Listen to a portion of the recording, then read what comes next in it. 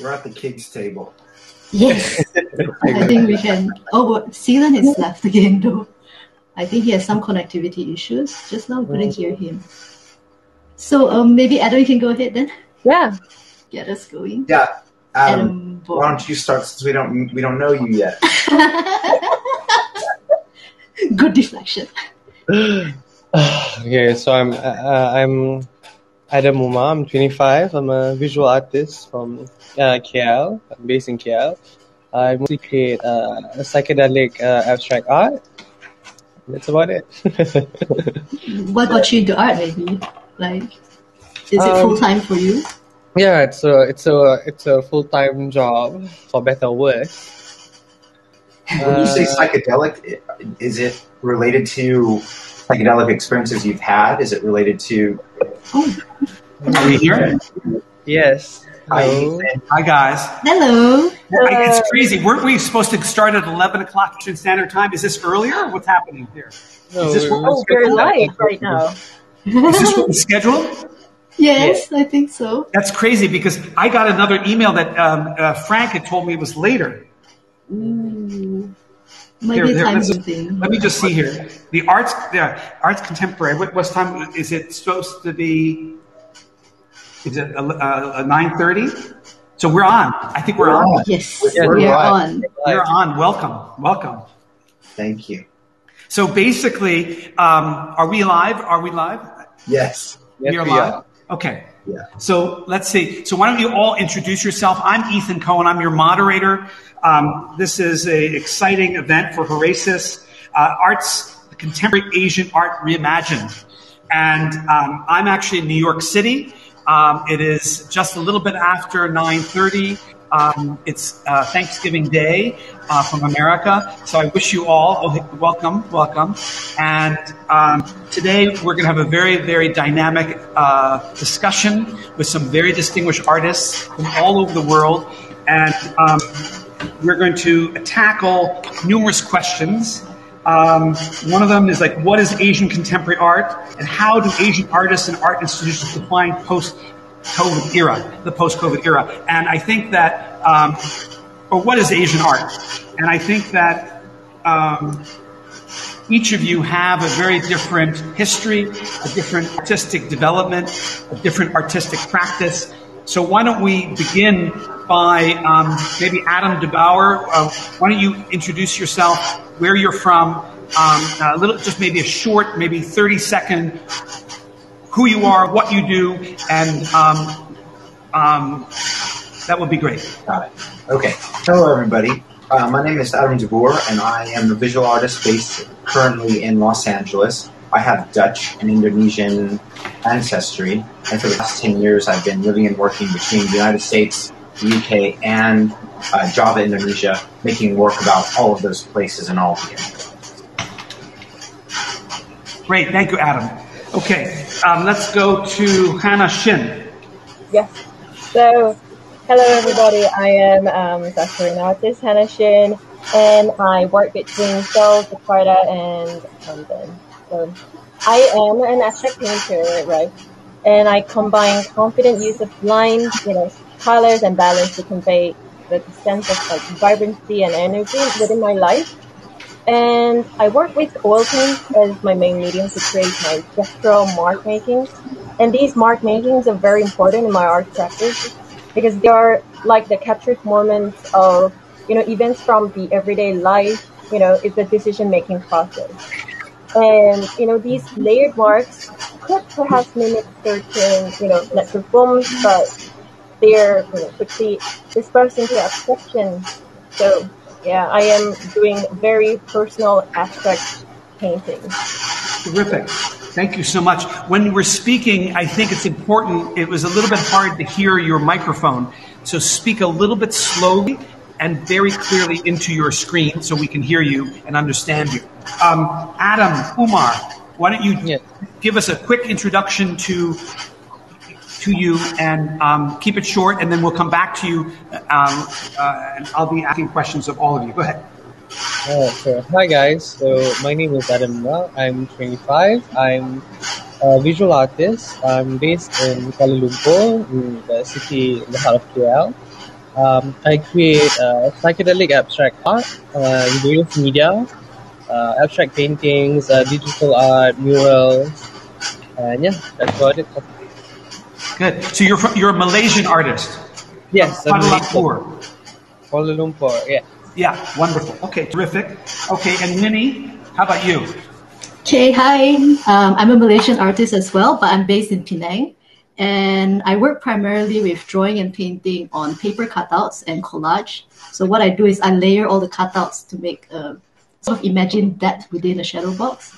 And my work deals primarily a lot with myths and storytelling, and um, and I work with my technique because it gives me the flexibility to sort of manipulate the image however I want it, and to reflect sort of like the local elements of where I'm based in as well. So yeah, that's my intro. Cool, cool. And um, how about um, Seelan Palay? Where are you from? And um, tell us a little bit about your art practice.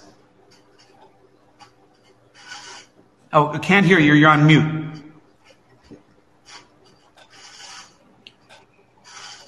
Can't oh, I think you. there's a mic issue. Yeah, actually, Maybe uh, Laura, can you unplug it? Yeah, I'm not sure. Can we open?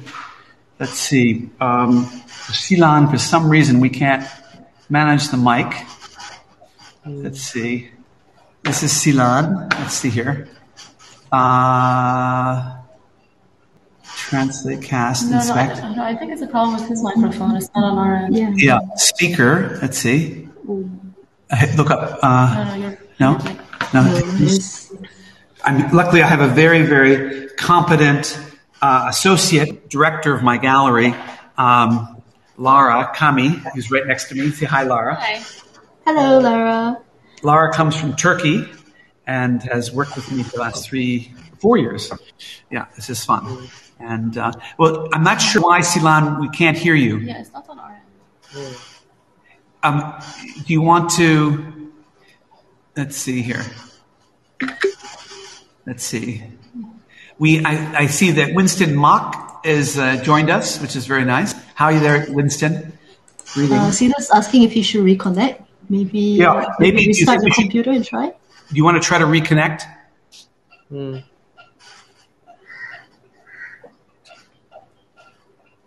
Yeah, maybe he's going to come back and try to reconnect with us. Yeah.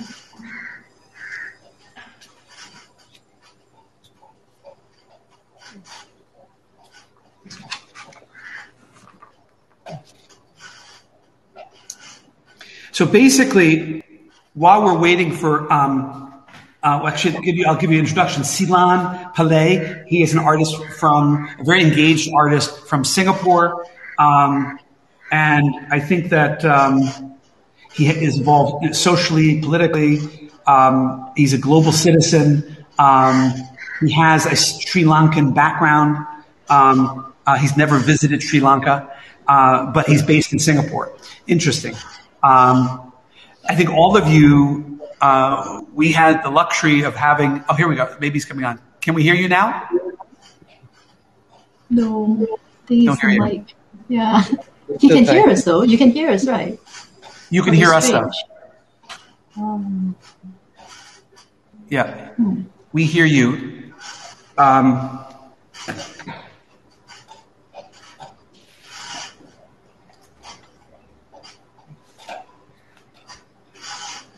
what we could do is um, try to be. This is sort of performative uh, art here.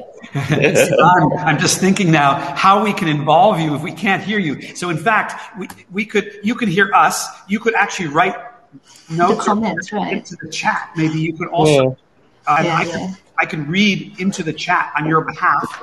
Um, I, c- I was basically saying that you are from Singapore. You are 33 years old. Um, you are involved socially, politically. You're um, you're a global citizen. Um, you're originally uh, your family is Sri Lankan. However, you've never visited Sri Lanka. Um, you said that um, your father is a taxi driver. Uh, your mother is a factory worker. Um, so you are really from the- working class, but you are also an art collector. You are almost, it's so interesting that you are um, through your in- intelligence and perseverance and um, uh, the greatness of society today, you are your own human being, and uh, uh, you're trying to give back to society and also reflect on society. Um, so essentially, I'm a, you said, quote, I'm a citizen of Singapore and a citizen of the world. Um,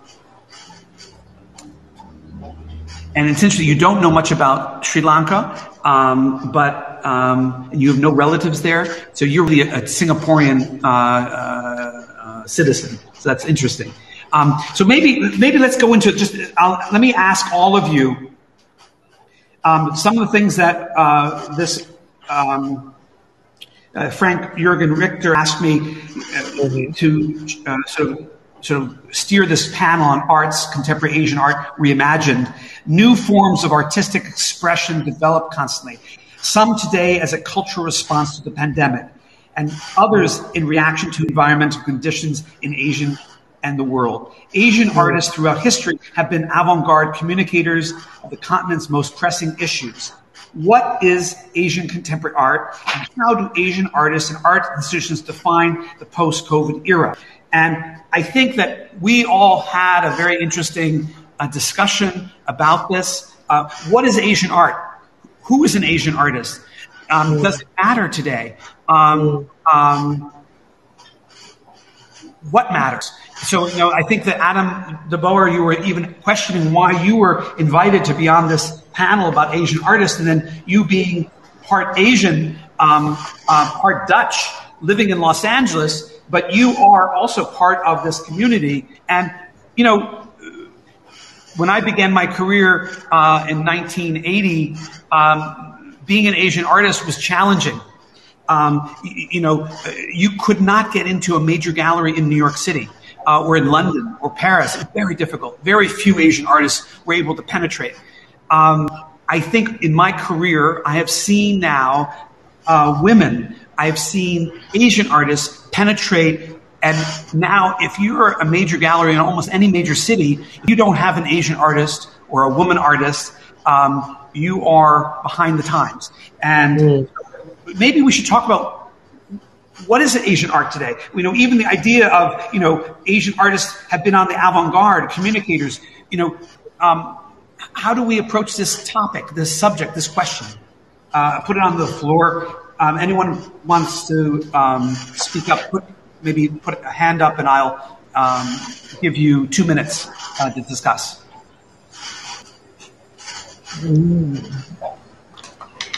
Um, so I guess I'll start. Yeah, go ahead. Go ahead, Adam. So, so Adam, Adam Ummar, you're Malaysian, and you're right now in Malaysia at this very moment.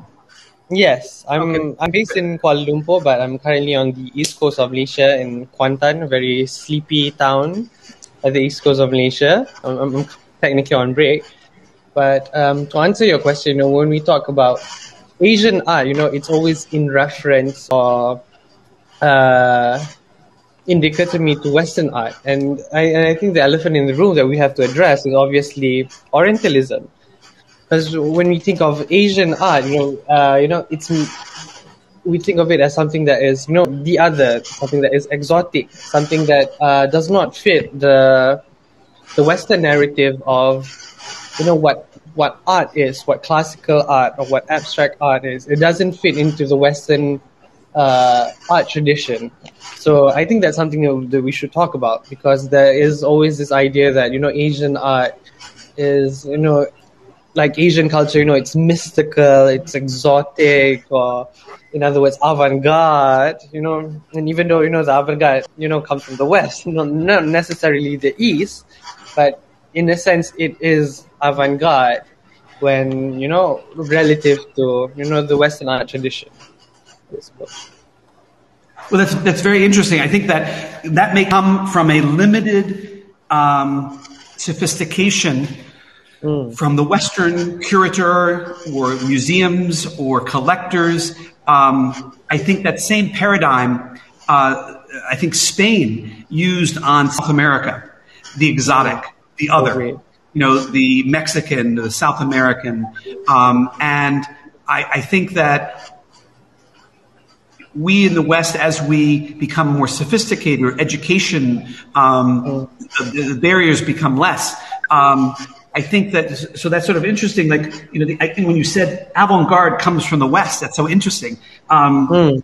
You know, in my personal experience, for example, when Chinese pop was being developed, a lot of people, oh, derivative, it's just copying Andy Warhol, or it's this, that, and you know, but in fact, it was very different. Chinese pop was completely different than Western pop, and it has its own uh, valid um, history and etc. I think that we're breaking down the walls. Mm. I think that I remember there was an exhibition of Japanese impressionist art about 30 years ago, and the director of the Boston Museum of Fine Arts looking at it, and he said, "Oh, it's derivative, Mary Cassatt, oh, Manet or Monet," and but in mm. fact, if we gave a thorough exhibition of each of those artists being shown, we might find that some of these Japanese painters in, during the same times as Manet might be as good as Manet or Mary Cassatt. But we have never been mm-hmm. able in the West to give them the time of day. The same examination on an equal playing field. So I think this is what this is what I'd like to address. Um, you, here you have Adam de Boer, Lauer, um, in, in, you know, Adam, you're a, a Eurasian artist in Los. Well, you're just an artist, but you have different. You, you, tell tell a little bit about you. Yeah, but I but I think you're. I'm completely fine with the descriptors as a Eurasian artist or a mixed race artist because it's a for it's it's forefront in my practice. I talk about it all the mm-hmm. time. The materials that I employ direct directly reference things that are happening here and also craft traditions from Java. So I'm never offended by by that. Mm. But a little, I, I wanted to add to what Adam was saying previously, talking about um, like Orientalism and, and how that is still affecting the way maybe a Western gaze. I, I've always been struck, like we were talking about Jogja a mm. little bit earlier. Um, That's where I live and work when I go to Indonesia. I go to Yogyakarta. There is a lot of art being made in Yogyakarta by a lot of young artists, and are really informed. And the way that they speak about their work is oftentimes in relationship to Western paradigms. So, and uh, there's a lot of pop art being made there, and just like kind of random assortments of brands and things like that. And the way that's been described to me is just that it has to do with social media. How like things aren't contextualized anymore from Instagram. There's no hierarchy, so they like it, they take it. And a lot of times, there's there's so much conversation about the market, which has been surprising to me because that's considered, even though that is what happens here as well. Um, it's not talked about as blatantly. So there's like an artist called Hahan who's super famous and lives in Jogja, shows with Gajah. All of his work has just the different currency symbols all over it. And he just wants to be a blue chip artist. What is I mean that that must be a strange phrase for someone living and working in Jogja. Mm. So I wonder when we talk about exoticizing it, always comes when we talk about it like west to east, it's definitely happening the other way around Mm. as well. Okay.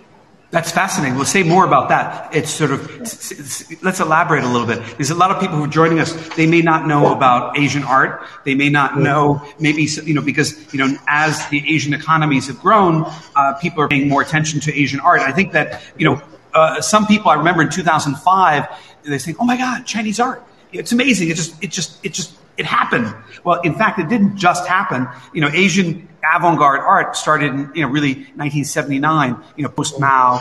Um, And I think that was, you know, with the success of Chinese contemporary art, I think it has had ripple effect on art in Indonesia, art in Singapore, art in Hong Kong. I think that, you know, I think what, you know, what helped wake up Hong Kong, frankly, you know, in the very beginning, 20 years ago, um, uh, one of my colleagues, uh, actually a partner of mine, I've actually made prints with Pace Prints. Uh, they and I have co-published a lot of uh, eight, uh, Chinese contemporary art prints together. Um, and um, when they first went to Hong Kong 20 some years ago, there was no market in Hong Kong. Um, but 20 years ago, there were some Hong Kong people buying Chinese contemporary art. And those people who bought Chinese contemporary art so early, all of a sudden, when Yue Minjun started to make it, um, you know, Fang Lijun, Zhang Xiaogang, uh, Xu Bing, you know, Cai Guoqiang, boom, they realize, oh my God, art is this, you know, is exciting. Oh, we can make money from art. Oh, art is fun to collect. And, you know, all these aspects. And now, 20 years later, we have a very, very developed art market in Hong Kong. Um, you know, Sotheby's and Christie's and Bonhams, etc. Um, and it has become a world hub. Um, and so things have changed now. Um, obviously, with the government right now, it's it's more tenuous. We don't know the future of Hong Kong.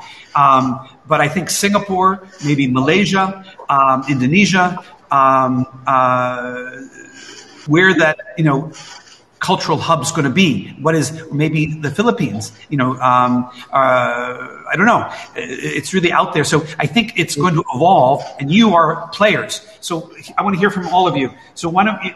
Um, Eryn, you want to speak? Oh, me? Yeah, sure.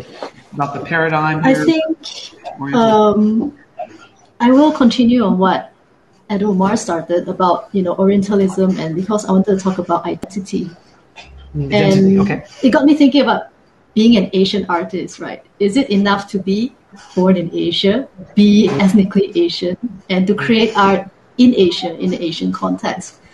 because I think a lot of us um, being on this panel now, we were first exposed to art in terms of Western fine art, and we went through the whole system where we learned about Western fine art. Like I learned about Renaissance art. I know more about Italian Renaissance art than about Malaysian art because I studied it. And and so for most of my life, I just went about it that way. You know, it's like okay, that is art, and um, I didn't feel compelled to include my sort of background identity into it until I moved back to Malaysia five years ago and decided I wanted to do art full time. And I just felt that it was important to sort of ground my identity because my art is always based on a sort of an alternate reality mm. and it doesn't really reflect, you know, what life is. And so, and I just felt that there's a lot of richness here. And so it was a way for me to reconnect that with my own Malaysian identity, which I sort of didn't have by growing up in a different country in Brunei.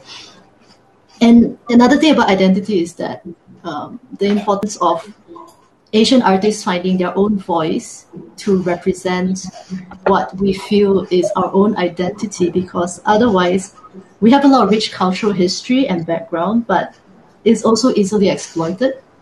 Mm. And in terms of cultural appropriation, I think it happens everywhere and in any form. And for myself personally, why I started including local elements in my work is sort of to try to be the voice in a sense of what's going on in Penang or what's going on in Malaysia. Because if you don't, someone else is just going to be that voice. And it, it is mm. definitely going to be their perspective. They won't know your perspective. You're the only one who knows what it's like to be in a culturally um, repressive country at most times and to be segregated based on our ethnicity, even though most of us don't really care and the government uses this as a form of control and censorship. So there's a lot of that in being an Asian artist. A lot of slightly different things to navigate around. Like, well, in the West, you also face different different um, issues, but it's the the I wouldn't I don't want to compare it that way because that's how it is. But yeah, I think I've lost my thread. I'll just pass it. Yeah, yeah no, no, it's good. Now. It's good. I think your idea of identity, what you're talking about, um, do you have to live in Asia? I think we'll, we'll circle back. But um, why don't we hear? Yeah, I'll go ahead. Talk. I'll talk. Yeah, Hannah. Is like, yeah, I mean, what I was going to say, you know, fits perfectly with what you started off about the identity because you know, like I question myself: Am I making an Asian art? I mean, you know, there's so many um, different artists who share the same experience like me. Who, you know, there are lots of artists from Asia. You know, go to the Western countries to study art. Why? Why are we doing that? And then their artists come back to the country, and then we're creating this new form of Asian art, which mm. is different with people who have just lived there. And we're like on the same line. Oh, I mean, this person who studied in Korea, for example, like a, a lot more authentic and more Asian and Oriental than me, who you know who lived all my life in Jakarta, which is like you know, which is like a completely different side of Asia where there's completely different culture and language and like go to like London to study. So it's like when I come back to Korea and, you know, do my artistic practice, I find, you know, lots of things that I question myself. You know, I was they they see me like, oh, you adopted very Western approach to creating this. So I mm. find it very interesting. But when I went to London, for example, lots of comments that I had was like, oh, your more makings are reminds me of very oriental lines and these spiritual mm-hmm. ways. So, you know, this border where I find myself like not anywhere. So I do question myself, maybe what I'm creating, lots of people are having this contemporary Asian art. You know, I, I lie in contemporary art, but like I do question myself, like, it, I, I can't call this like completely Asian, but mm. it's nothing that I don't think it's a problem in a sense. It's it's Mm. like a natural shift because so many people nowadays like you know move on to different countries globally and even you know like COVID you know made us work a lot more in the you know in the media in the SNS. So like it's we're connected integrated a lot more globally. So the term is now like a lot blurred. Mm. Does my mic work now? Oh my god! I was just waiting for you all. Oh my God, that's so wonderful. I was wondering, um, actually, Seelan, if you were going to join us, and I was like wondering if we would. No, no, no. I just, I just. I just did a last ditch uh, restart the computer and then it worked. Yeah. Great. Oh my God. So, okay, why don't you just give us a quick intro into you, your art practice, and then I want you to t- address identity as an Asian artist. Mm-hmm. Yeah. So, um, in addition to what Ethan said, um, uh, I'm an artist from Singapore, and the primary uh, concept, or even the medium that I use in the in all my works, is time, and time uh, intersects with with memory, with society, with politics, with culture, uh, with history, and so on. And and some of my work and research involves understanding the past and the present to to also understand the future. And the future is a very important uh, thing, uh, a, concept to my practice, which later I will, I will highlight. Uh, as far as like, so a lot of the the reading that I do has to do with uh, well futurism, has to do with science fiction, has to do with science itself, um, and also now AI and concepts like mind uploading and so on, and and and that is not necessarily Asian. You see, it's just technology, and this technology is also being harnessed by by people all over the world. These ideas and concepts, uh, as I as I mentioned in our in our call together before this, uh, Yeah. before this live recording, uh, when we think about um, like the, the the only reason why we call ourselves uh, well Asian culture is because we're born here. You see, have, have we been born in West Papua, we would be like West Papuans. Ah, you see, we, have we been born in uh, Canada, we'd be more Canadian. You know, um, and and and somehow uh, these labels are put onto us, but a lot of our understanding um, comes from the internet. I think the internet is is a is a, is a maker uh, and shaker of, of new culture. You see, um, shaper of new culture, and and and for generations after us, you know, the the, the kids who, who grew up with you know broadband internet and grew up with with an iPad in their hands, um, for them, internet culture, uh, videos that go up, you know, memes. Um, uh, whatever new social network uh, uh, comes up and, and the kind of norms, the kinds of norms that are within that become part of their become part of their culture, even their even their lingo. You know, uh, I see I see kids in Asia uh, use words uh, that that Americans are using, like "Hey, what up, fam?" You know, it's like no fam. You know, it's like we don't say fam. You know, but they picked this up from this American TikTok person or Twitter person, and then it became part of their culture, and they talk to each other like that. You see, uh, and and and this is only going to become more and more pronounced uh, and commonplace as we move forward in the future, as the internet becomes even more embedded in our lives. I mean, you know what the next step is. You know, uh, uh, Mark Zuckerberg has announced um, the metaverse, you know, where we're all going, when I wear goggles and attend. These calls are not going to happen like this. These calls are going to happen with our 3D avatars in a space, whether or not on Facebook platform. You see, so where does the idea of Asian uh, uh, fall there? When we're all gonna dress, we, we, our avatar might be like a purple monster with you know, 12 tentacles. Yeah, so interesting Well- things to think about. Yeah. Okay. Well, I think what's interesting, uh, one of the things that I see in this panel today, which is quite interesting, I find, is that each of you, you're the new generation. You are the new Asia.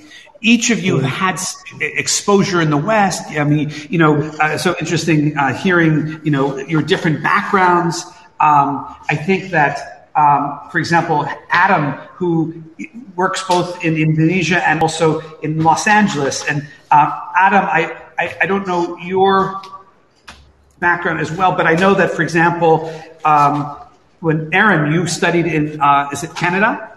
Yeah. Yeah. And so you've, and your background, and then um, uh, Hannah, you're saying that you grew up in Jakarta, but then you studied in London, you come back to Korea. You know, what's your identity? I think all of you, the fundamental thing that is common to all artists is you need to know your identity. So maybe we want to, you know, and it's okay to be Asian. It's okay to be Canadian. It's okay to be Dutch. It's okay to be Japanese or Korean. Or, but you, you are a unique artist. You have a voice. You have your own identity. It is your work to mature, know who you are. What is your message? And I think that, you know, um, uh, Seelan, when you're talking about futurism and the past, present, and uh, that will help us understand the future. Right now, each of you, you're challenged. Who are you? What is your art practice? What identifies you? What makes you unique? This is the real challenge. And I think that each artist, um, you need to hone in on what's your message? What's your medium? And, and sometimes many artists have many mediums. You can't, I mean, uh, you know, Ai Weiwei, you know, uh, is he just a conceptualist? No. He has, his art practice spans many things. So I think, and also, uh, you know, you've mentioned a little bit, um, each of you, you've seen different societies. You understand, you're from different backgrounds. Um, each of you are confronted, you know, some, you know, uh, even we in America, we were confronted with some, you know, censorship or, you know, we're dealing politically, you know, engagement. Um, I think during the Trump era, uh, it was terrible for us. And I think that, you know, maybe in Indonesia or in Malaysia, you know, you have to, artists need to be able to be a little more malleable, right? Um, so how do you do this? How can you be effective? You don't want to be locked up, but you want to be able to speak your mind. So let's talk about identity, maybe. Tell me about how are you? How are you contributing? What's your vision? What's your future? Um, um, I, I think Eryn, for example, you know, you, you've come back to your society. You know more about the Renaissance, right? So, and now you, you, you want, are you, you, you know, do you have to, you're living in, you know, Malaysia uh, to be an effective artist. Do you, do you, do you, do you have to know about Malaysian art? Do you have to be a Malaysian art? I mean, you're an artist, right? Does it, so it doesn't matter. What really matters is, are you making interesting art? Are you being truthful to yourself? So I think this is the challenge. And maybe, um, maybe each of you want, you want to talk a little bit about your challenges what do you think is your gold nugget in each of your own art practice? So, Eryn, uh, is it the Renaissance? Is it Malaysia? What, what's your what's what do you have on the menu for us consumers? Tell us. Well, I would say I never shook off the Renaissance part in terms of my drawings because it's just so much a part of who I am already. I was attracted to that. I was attracted to Nordic myths when I was a kid, Scottish myths when I was a kid because it was interesting. And I did read Chinese myths, but I find that there's some subtle cruelty there that I just couldn't get into it. And so personally, it was very much my own choice to go into Western form of thinking, to go into Western form of art, and to learn Western art. But then when I came back, I just felt that there is also a deeper part of me that wanted to be more connected to my historical roots here in Malaysia. Well, being Chinese, I'm not originally Malaysian because Malaysia Malays are the, yeah, and Adam Ummar probably know more about that too. Uh, Maybe I Seelan to some extent. Yeah, so there is definitely a whole because the Chinese migrated to Malaysia three generations or four generations past during the war. So much like what Seelan said, that though he's of you know Sri Lankan descent, Tamil descent, we don't have a homeland in China or Sri Lanka or anywhere else, anyways. But I did learn about Malaysian history, and what connected me to Penang was just that it's a hub. It's a hub where many different cultures, and it still is a hub because we get we are a tourist destination. So we get people from many different cultures and that meet and exchange ideas. And I think it's great because this is what I really enjoy. And I just feel that getting in touch with Penang, with my own Malaysian roots, it was a bit exploitative in how I went about it, I realized, because I was like, what is Malaysian art? So I looked at traditional art first, much like hmm. I looked at Renaissance art, the tradition of things and I realized hmm, maybe I don't have to do it that way. So in terms of I'm doing paper cutting, which has a Chinese history, but yet I took it from a Polish paper cutting perspective to start with. Somehow I just it just was easier for me to understand, and um, I turned it into something sort of new, my own language in a sense, my own visual language to try to communicate what I'm trying to say. And most of the time, I'm not really clear on what I'm trying to say, but it's just usually I want to evoke some kind of emotion in people, and I want to make something that has not been seen before, as impossible as it is, but something new from what all my experiences and all my and what I've learned in the past. So um, yeah, I think that's pretty much. And in terms of infusing it with local elements, that's how I keep it grounded in that it's produced in Southeast Asia specifically, by someone living in Penang, by a woman living in Penang, and what I have to navigate going around, you know, this strange landscape here. So yeah, that's my take on it. Beautiful. Um, uh, Susan, you want to tell a little about your what your you know your comments, your thoughts? Or excuse me, Hannah, you want to speak in there? Hannah? Yeah, I was confused for a minute. Who was who's Susan? Yeah, no, no, no, sorry, sorry, sorry. yes, yes, I was confused as well. sorry, sorry, I was Yeah, confused. with that. so Sorry. Go ahead, yeah, Hannah. um, I think right now, like what is more concerned with me is, um, you know, not of these orientality of the mark makings, but you know, as a painter, because you know, I have been very solidly uh, going through one way and developing to create a sense of space within just the canvas, right? So this is nothing to do with the culture, but um, as a painter, I'm I I want to you know challenge myself all the time to get out of the painting. At the same time, nowadays painters you know do uh, it, when you know when you go to like a painting major, n- not everyone does paintings. You know, under the name of painting, we have performance. We've got you know sculptures. There's so many different installations, and I got I get very challenged by that because I've been solidly just like concentrating on you know developing my um, being sense of space and mark making just within me. So that is actually my next challenge to, and I have been studying about how I can step out of that, and you know, been talking and I've been experimenting too. So I think that's me as my next challenge to um, develop myself as an artist. Not I, I wouldn't call like I'm a painter, but I want to call myself as an artist at the same time. yeah. You, you wouldn't say that again. You wouldn't call yourself a painter Only. Like, only, right? Okay. Interesting. Okay, Adam. Do, Adam, you want to uh, uh, tune in here? Tell us about your art practice, identity. You you you have to be specific. Yeah. Which Because you have two adults here. Okay, well here. So I'll say Adam. Uh, had Adam de Boer. Okay. Um, sure. So I, I think um, probably the prime, primarily the reason why I was invited on this particular panel is because um, my mixed race Indonesian ancestry and that identity, the way that I have chosen to look at that, the stories, the stories that were absent in my particular family, just through, just through, you know, generations trying to forget certain things. Um, it was a, kind of an open slate. So I just knew, you know, with my last name and my complexion, you know, the different phenotypes that my family shows, we are mixed Asians, but there was no spe- specificity to that. So it just meant that I could go and kind of make it up. The first projects that I made as an Asian artist were kind of like me making, oh, there's some recent work right there.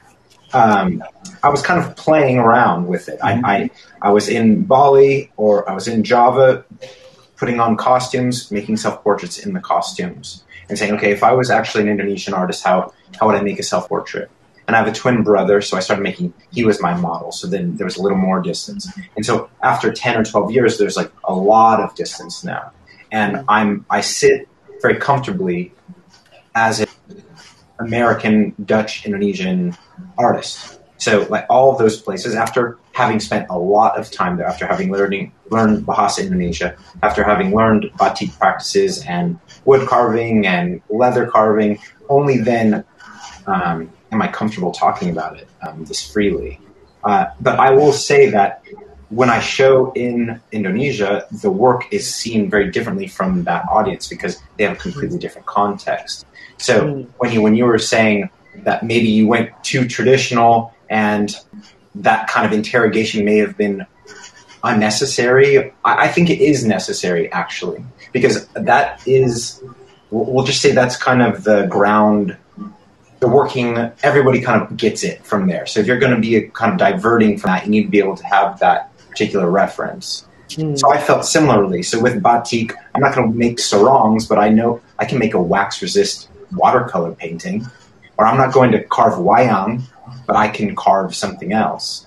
Um, and i think those decisions to do something else is where the hybridity comes in mm. and where the novelty can come in. And novelty is where when you ask Ethan, where is the golden nugget? The golden nugget is where the novelty comes in. That's what the, the art market wants, unfortunately. You're expected to have it, and if you don't have it, you don't play. Well, thank you. Um, uh, Seelan, you want to um, talk about your art practice? Um, yeah, I think uh, I've, I've, just kind of written down, uh, broken into a few things so that it's easier to understand. Um, as far as art um, history goes, or movements, or ideas, methods, I think uh, I have identified most with uh, situationism, situationism by Guy Debord, and uh, um, as as far as like philosophy goes, uh, I mean I've I've ex- ex- experimented with existentialism and all, but I think uh, Taoism by Lao Tzu is, is is the philosophy that I identify with most, um, and in some of my works also uh, I'm just naming the components and we can see the overlap later. And the in terms of language, um, I do use multiple languages in my work, uh, Eastern and Western languages.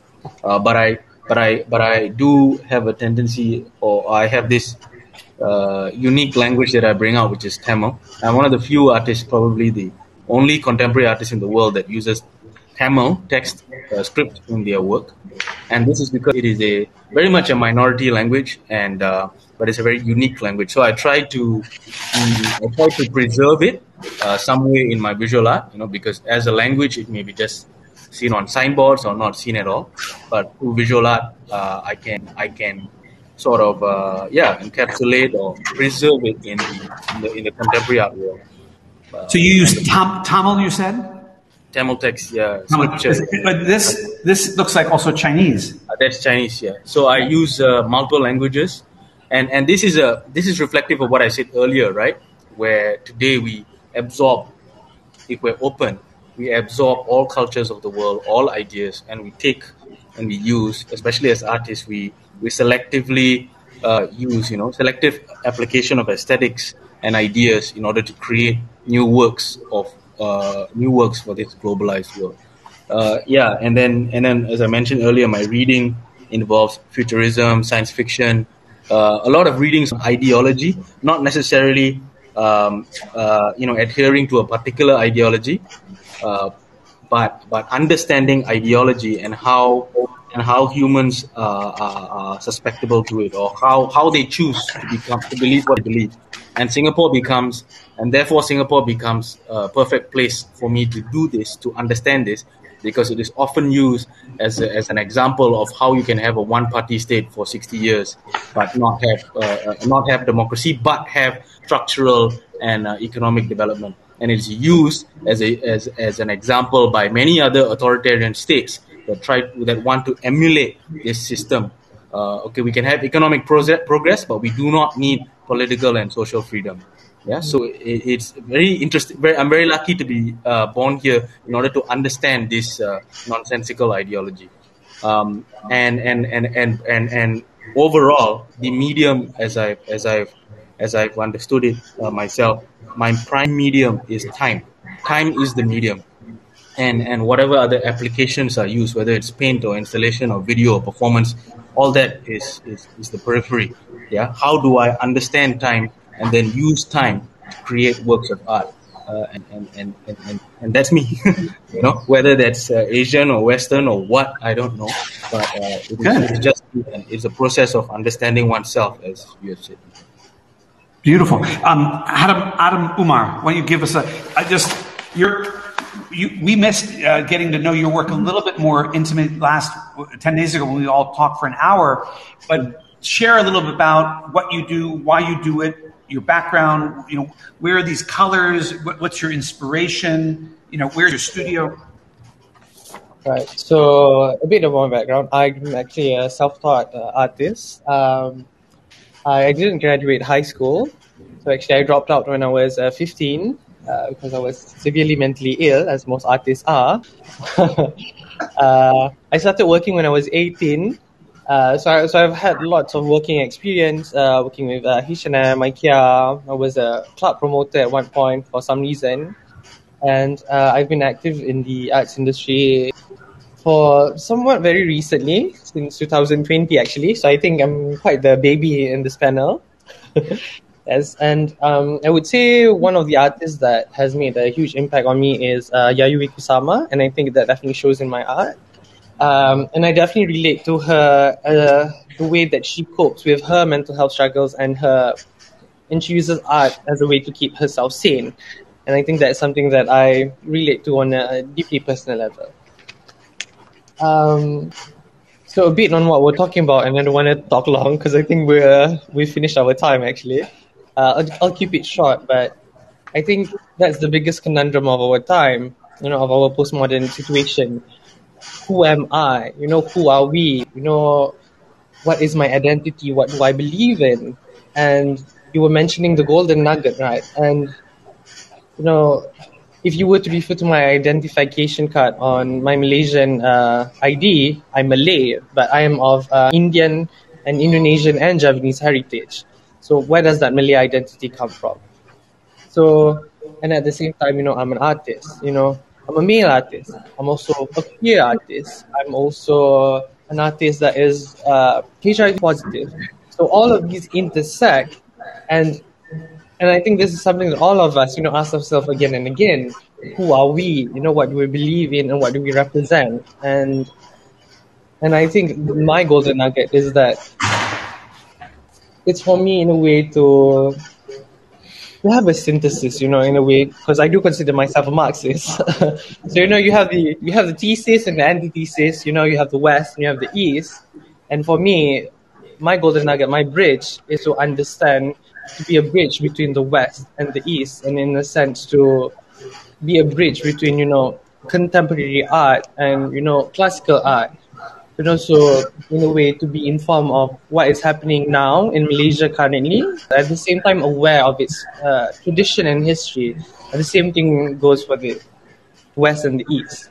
So I think my golden nugget is to understand, you know, to be the the middle ground and just to be the synthesis. Great. Well, that's interesting. I, I, I applaud you. I think that the issues that you brought up are powerful um, the idea of being HIV positive, um, mm. being uh, someone who dropped out of high school. Um, I mean, there's no one way to become, there's no one road to Rome. There are many mm. roads. And I think that you have to find your calling, your path, the idea of mental health. I mean, Yayoi Kusama, all her life, she's dealt with mental health issues. And, um, you know, living partly in a uh, sanitarium, um, mm but very, very determined to become famous. She was, you know, she wanted to be more famous. She told everyone uh, she wanted to be more famous than Andy Warhol. And really, you know, it's interesting. Yes. She, you know, it's he's a tough competition, but she's done well, mm-hmm. you know. And uh, uh, I've had a, the pleasure to meet her on a few occasions. Uh, I've sold her work. I've uh, she's come to authenticate in my gallery. Yeah, she's great, amazing, amazing, crazy. Some of my closest friends were very close to her in their early 60s. Uh, my Japanese artist uh, uh, Shinohara photographed some of her performances in 1970 in New York, nude performances and putting polka dots and everybody. This really fun. Um, well, interesting, Adam. I noticed in your career, you, you're, you're quite um, you're showing a lot of good galleries. I see some of my very good colleagues with Kristen's per gallery. You've shown the also the whole. So you're actually um, quite international. Um, and uh, maybe a little bit um, uh, out there in the market. Um, in your life, uh, is this good to be identified as an Asian artist? Do you mind being identified as an Asian artist, or do you really want to be labeled artist or Adam de Boer? No, I think that the you know this my particular story is is is quite. Um, it's just specific. And I, as I said previously, people, as, as soon as I started being really specific, the work seemed to get better because I think it became more interesting to me, more authentic to me, and viewers can just see that.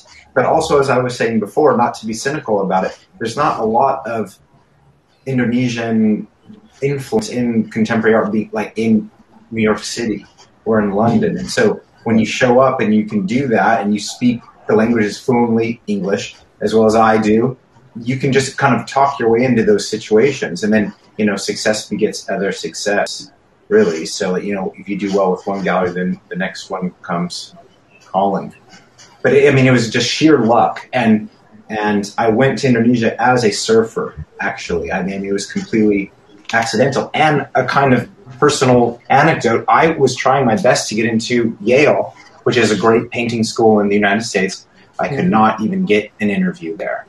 And it wasn't until I started just applying to schools abroad as like a Dutch Indonesian surfer dude got into all the schools. Same exact artwork. So that's why I ended up going to school in London because that's where the, the scholarship was. But it was that that was a very early lesson for me that like you need to lean into this novelty or find in, like if you find your path that way, either you know the other roads will will open up. Well, yeah, I think yeah, but it's interesting. I, I think that um, novelty. I, I, think it really it's more fundamental. I think it's more about you have to find your identity.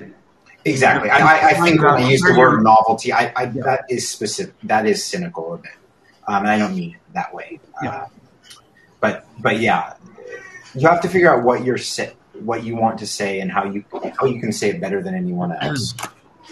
Yeah, and that makes you unique. Exactly. Yeah, more desirable.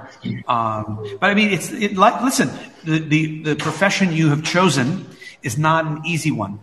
I mean, there's no, you know, uh, you know, to, you know, genius takes nine tenths hard work. I think that you know, being an artist, it is not an easy profession. It's something that you need to be dedicated to every day. Um, you need to be completely honest. You need to be vulnerable. I, I think that you're you know showing up today. Uh, I applaud each of you and thank you for showing up because you're sharing with us, uh, the audience um, uh, and future audience, because this is being recorded, um, about your art practice and your questioning and trying to figure out what is your future. You know, how, how are you going to interpret?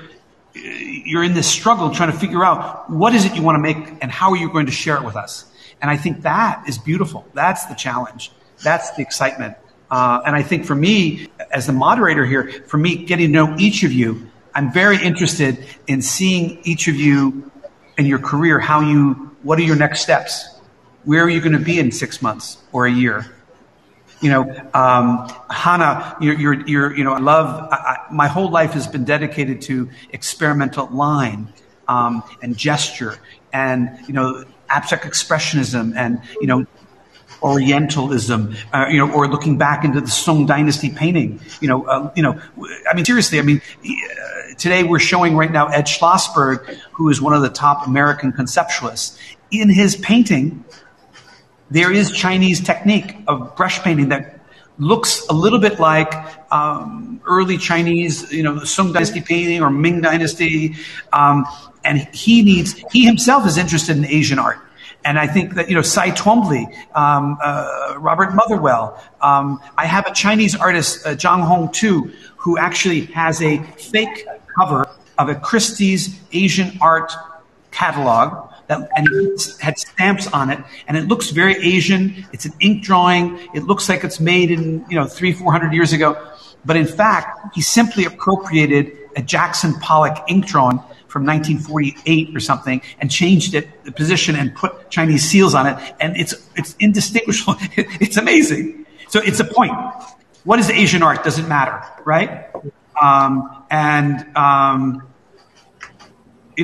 you know, I, this may be a, a, hot topic for all of us, but you know, censorship, freedom of expression. How are you going?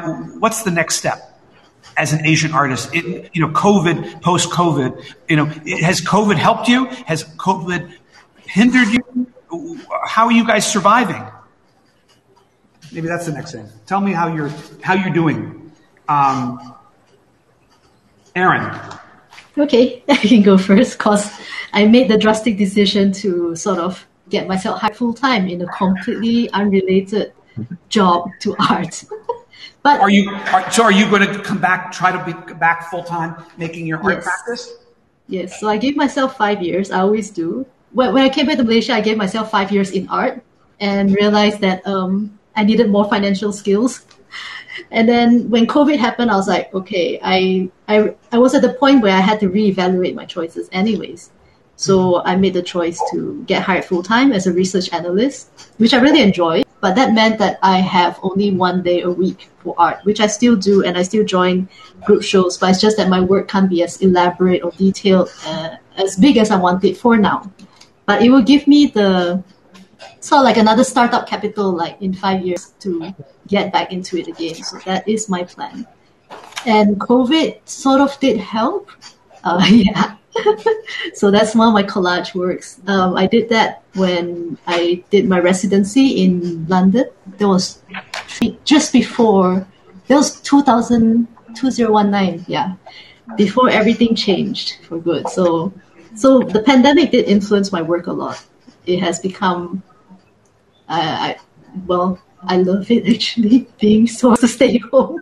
I'm highly introverted and I finally found a way of life that works for me where I can keep a full-time job working from home and to make my art and to be, you know, relatively happy. So actually, um, I see the silver lining in it, even though a lot of my friends were negatively affected, businesses were negatively affected, and we lost um, quite a few young artists and also mature artists to COVID. And so there is a lot to work through, and I feel that having art helps a lot. And I definitely will keep making work, and I still am making work. So I've got shows coming up next. I'm trying to figure out how to make the time to make everything happen. And yeah, I'll definitely come back to it at full time again. Great, thank you. Um, who wants to go next? I'll go. Okay, go ahead. So, yeah, I mean, I like after the COVID, um, you know, I sort of stumbled doing like physical shows in you know Seoul, where I'm staying right now. But eventually, somehow, I feel like I could be anywhere in the world because everything that I do right now, I am actually I'm doing my other job as well. I'm teaching people, but those kids are all in Jakarta, so I mm. that's nothing to do with me physically in Korea. And right now, currently at this moment, you know, my works are held um, offline in Jakarta as well, in, in an art fair. And I'm like staying here in Seoul. And, you know, there's like, and also like I talk with people from the US or London. So it's, it's very bizarre that um, I have slowed so because of COVID. Since I stopped um, showing artworks on physical galleries in in